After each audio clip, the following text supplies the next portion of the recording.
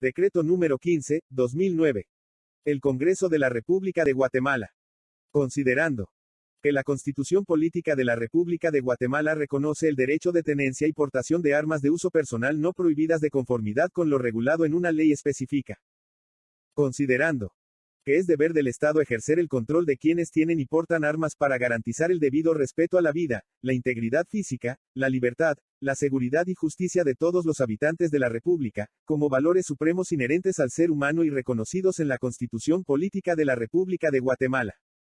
Considerando que la proliferación de armas de fuego en la sociedad guatemalteca pone en riesgo la vida e integridad física de la mayoría de habitantes de la República, debido a la relación existente entre hechos violentos y armas de fuego, lo que hace necesario que se regulen las formas y medios por los cuales una persona puede ejercitar sus derechos de tenencia y portación de armas de fuego, de conformidad con lo estableado en la presente ley.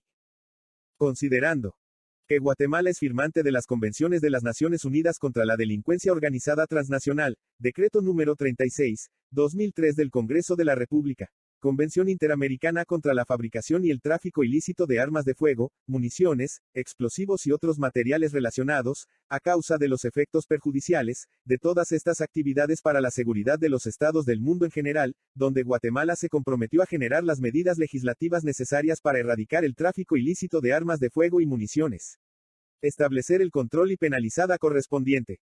Por tanto, en ejercicio de las atribuciones que le confiere el artículo 171 literal A de la Constitución Política de la República de Guatemala.